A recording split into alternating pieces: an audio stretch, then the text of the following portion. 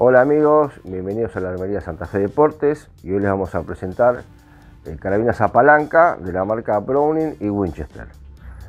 Les vamos a pasar a mostrar, arrancamos en calibre 22, el modelo BL22, culata de nogal laqueada,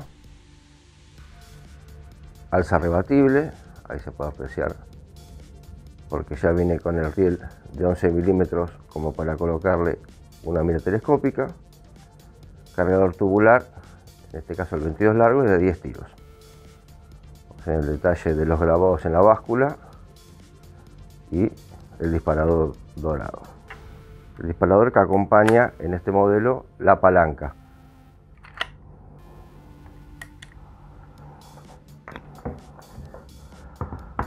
Ahora ya seguimos con el modelo M94 este es calibre 30-30, el clásico de Winchester. Tiene el diseño de la culata al aceite, una alza clásica, el guion con el inserto en bronce, cargador tubular, los 30-30, este modelo carga 7 tiros, expulsa por arriba, ahí pueden apreciar la expulsión del, del palanquero y el sistema. ¿no?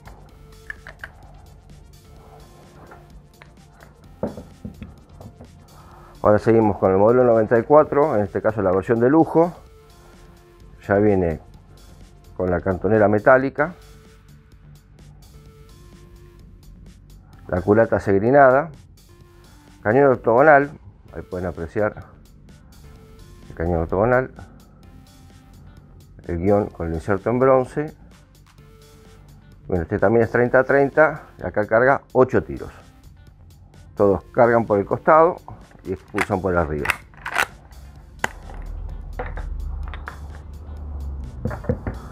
Ahora seguimos con el modelo M77. Este es calibre 44-40.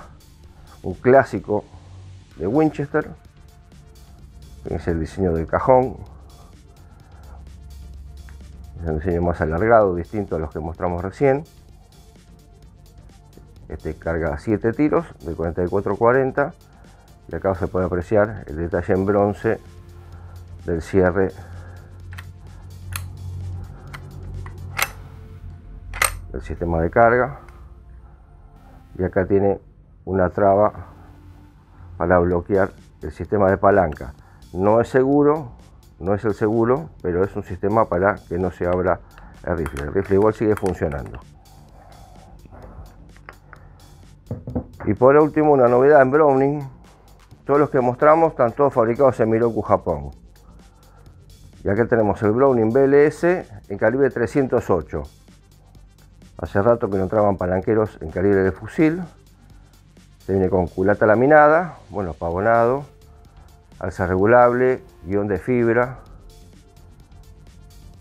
rosca en la boca del caño. Se viene preparado para colocarle un riel o un juego de pastillas. Cargador, destachable, metálico, de cuatro tiros. Y bueno, sistema de palanca, que es muy rápido para un calibre 308. Y fíjense el tamaño del cerrojo que tiene, la robustez que tiene este rifle. Así que bueno, espero que les gusten. Cualquier duda que tengan, cualquier consulta, nos llaman, nos escriben o se acercan por el local. Nos estamos viendo la próxima. Gracias.